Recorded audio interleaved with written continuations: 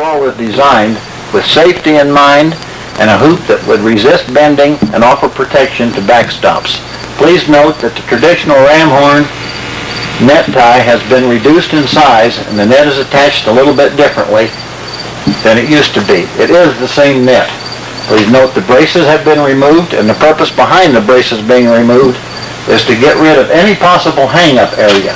The safety mechanism is all enclosed. It is not possible, even in the detent position, for a player to get his finger engaged or trapped and injured when it slams back. Please note, on instantly returning to the playing position, the force on the return is directed down toward the floor, not back against the backstop.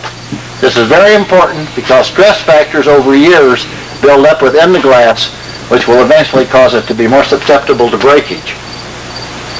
This goal has been tested for, for years.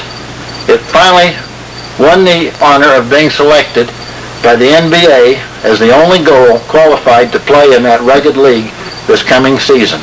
It has also been approved at every level of play from the NCAA through the state high school athletic associations right down to Little League.